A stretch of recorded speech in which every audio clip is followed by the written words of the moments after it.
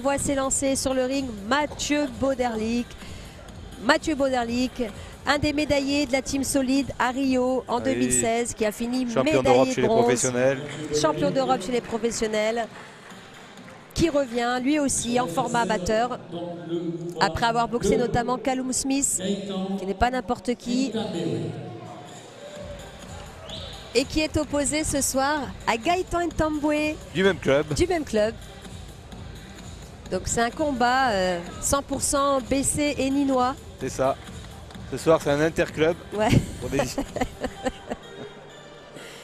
et d'ailleurs le BC Ninois qui avait le plus grand nombre de représentants. Hein, euh, et maintenant qui est à ex avec euh, BAM l'héritage, mmh. parce qu'il y a donc Gaëtan, Mathieu et Mona Messian eh Malheureusement, il y a Ibrahim Boukedim qui a fait forfait, qui a été contraint de faire forfait pour les problèmes de santé. Et on donc, souhaite d'ailleurs un bon rétablissement, tout à fait, très vite. Tout à fait. On l'embrasse, Ibrahim. Et également le BAM Héritage, hein, qui a trois représentants, la personne de Rima Ayadi, Wassila Kadiri et Chris Essabé. Et Chris Essabé. Qui boxera demain. C'est ça.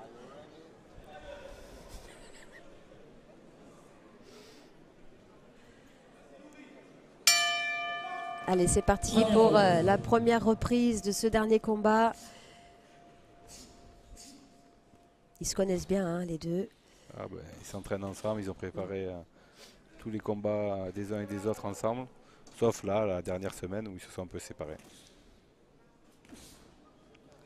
Est-ce qu'ils ont mis les gants ensemble pour préparer leur combat l'un face à l'autre? Ah, Je pense pas, mais du coup, je sais que Gaëtan est parti aux États-Unis. D'accord. Il se préparait alors que Mathieu restait plus euh, dans son club.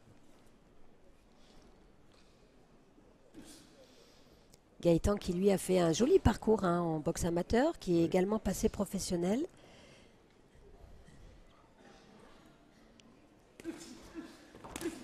On se souvient de lui hein, en amateur d'ailleurs euh, avec son combat euh, en WBC, WSB, pardon, ouais, c'est ça, en WSB face à Julio César Lacruz. Il avait impressionné il l'avait boxé ici aussi euh, sur un France-Cuba. Tout à fait, dans cette même salle, Julien, c'est vrai. Et il avait été déclaré vainqueur. Oui, c'est vrai ça. Eh oui.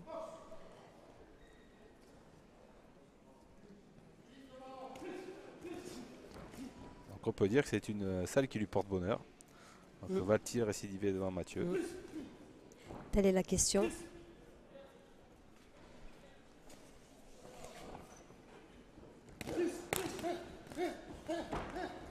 Déjà, il a déjà six combats professionnels, un hein, Gaëtan. Lui aussi, il est monté très vite. Euh. Mathieu Bauderlic, hein, qui est champion WBC francophone, EBU 2021. Champion de France aussi chez les professionnels.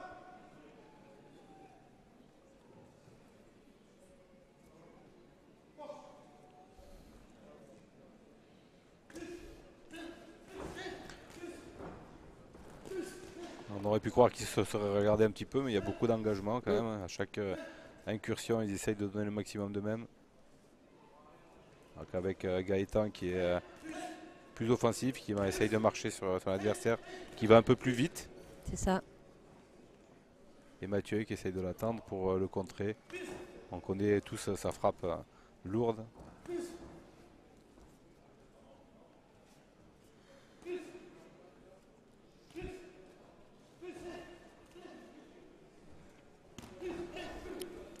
Donc là, Mohamed Nishan, hein, qui est leur entraîneur, a fait le choix d'être dans aucun des coins, ni bleu ni rouge. À d'autres coachs euh, des clubs d'y aller.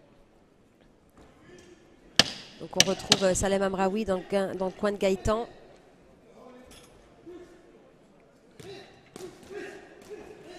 Et Nordine Samoudi dans celui de Mathieu. Point rouge, Mathieu Modernic vous donner son palmarès, troisième aux Jeux Olympiques de 2016. Donc une, euh, une première reprise avec du rythme, hein, Julien Ouais, du rythme et Gaëtan qui est du coup euh, est peut-être un petit peu moins éloigné de, de la pratique amateur qui s'est un petit peu plus mis en rythme euh, rapidement. Voilà, donc euh, il y a des- du début de coup. Maintenant, il faut voir si euh, tous les coups ont été précis pour être sûr de, de toucher euh, son adversaire. quoi. Ça. voir qu'il y a même pas mal de coups qui arrivent dans les gants. Il ne regarde pas toujours ce qu'il fait.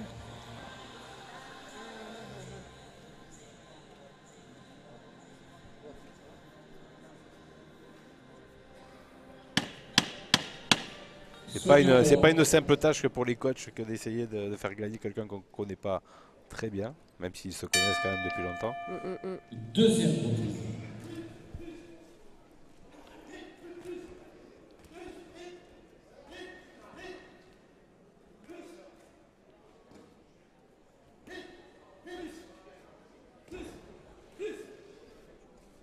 Donc Là. Mathieu Boliali qui est gaucher. hein.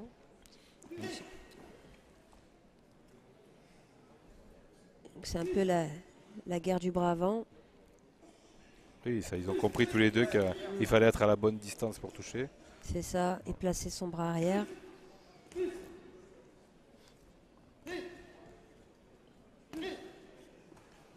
Ah, par contre, la, la stratégie a un petit peu changé de la part de Mathieu. Il essaye de marcher un petit peu plus sur son adversaire, il ne l'attend pas trop.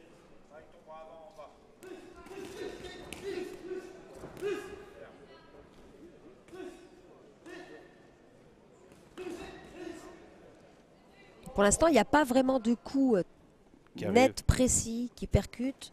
C'est beaucoup dans les gants. Ça, ça s'arrête à quelques millimètres de la cible.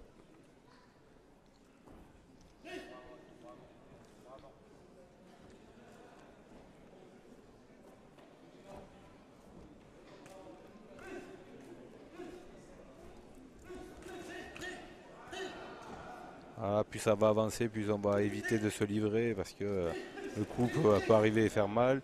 C'est quand même des catégories. euh, ah, c'est pas des poids lourds, mais, euh, mais ça fait mal. Mm, mm. On est chez les moins de 80 kilos, effectivement. Ah, Mathieu qui commence à essayer de durcir, à enchaîner corps face.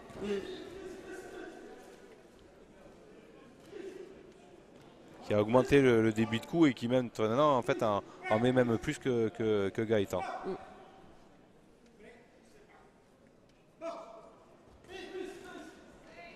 Oui, bon bras arrière là de Gaëtan.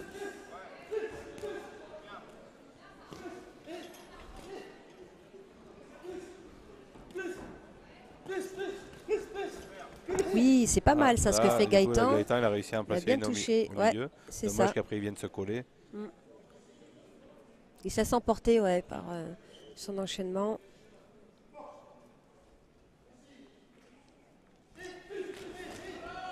Oui, ça c'est bien hein, le contre de Mathieu du bras arrière. Mathieu qui, qui tente hein, plusieurs fois, lui percute.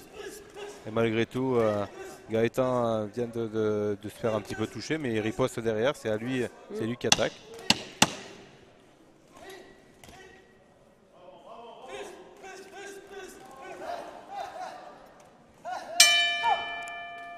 Fin de la deuxième. À tour de rôle, ils ont su euh, passer devant l'adversaire, ils ont touché et débordé.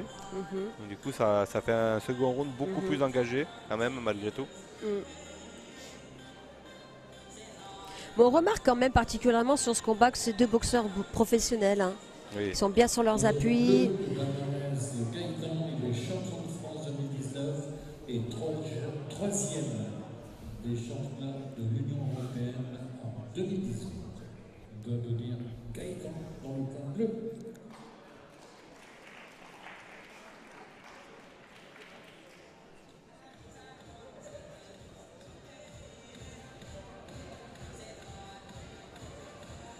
Donc là, les dernières consignes du coin avant euh, la troisième reprise, la troisième et la dernière reprise.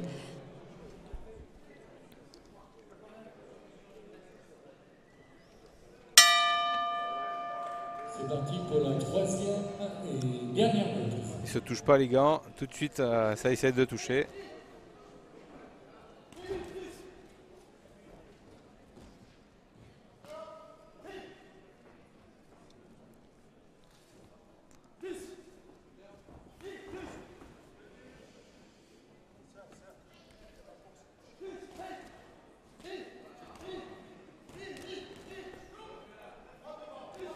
Ouais, Mathieu qui travaille hein,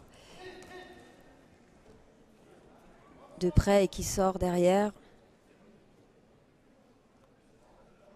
Ah, très costaud du haut du corps, on, a- on voit qu'il a Mhm. du mal un petit peu à être euh, dé- délié. Mm.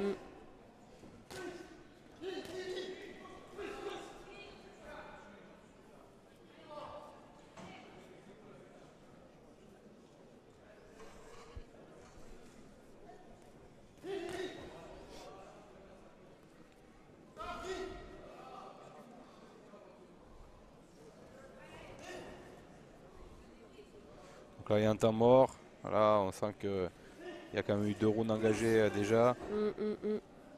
Gaëtan euh, qui travaille un petit peu moins. Je pense que c'est pour euh, se réserver sur, sur la, la deuxième partie du, du dernier round. Pour finir plus fort. Bon, on y vient justement. Il reste une minute 30 dans ce combat. C'était moins le 80 kilos. Et voilà, et du coup, ça y est, là, c'est comme si c'était vraiment permis de récupérer pour finir très fort. Et contre, changer de rythme. Que ce soit fait. pour l'un ou pour l'autre, il va falloir faire attention parce que ça peut taper oui, très a- fort. Ouais, Mais a- euh, malgré tout, il va falloir se livrer plus pour aller chercher la, la victoire, soit pour l'un ou pour l'autre.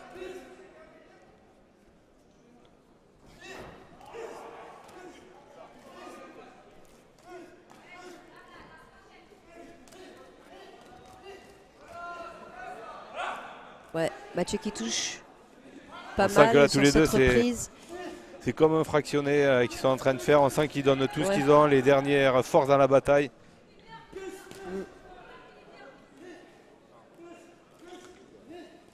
On le Oui. sent aussi. Beau bravant hein, de Gaëtan. On perd un petit peu en lucidité sur le système défensif.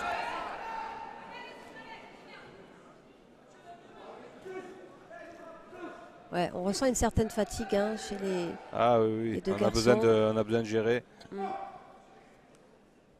On l'a on l'a entendu chez les deux, ils ont poussé un petit cri. C'est que vraiment, ils ont tout donné. Et puis on le reprécise, hein, c'est pas facile de revenir au format amateur quand on, quand on a évolué euh, chez les professionnels. C'est ça.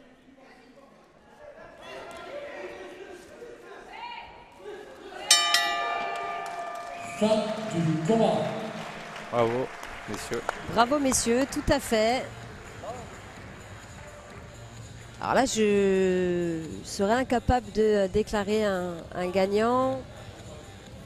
En tous les cas, ils ont tout donné jusqu'à la fin. Et C'est on a senti qu'ils avaient fois. euh, autant l'un que l'autre envie de gagner ce, ce match.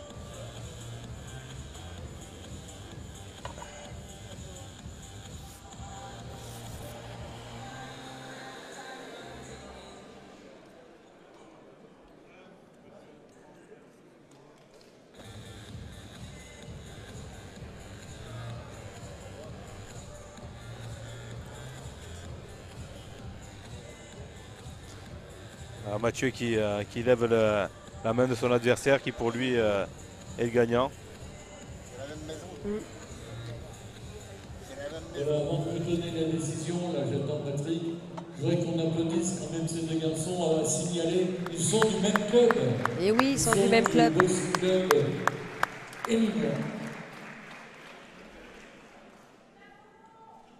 Décision partagée. Bah, c'est partagé. déclaré vainqueur, Red Corner, point rouge. Et c'est une victoire de Mathieu Bauderlic. C'était c'était un vrai match serré. Oui. Gaëtan n'a pas démérité. La décision aurait pu pencher en sa faveur. Donc le troisième euh, boxeur de cette catégorie, c'est Raphaël Moni, puisque Cheikh Marconnet est malheureusement forfait. Fait.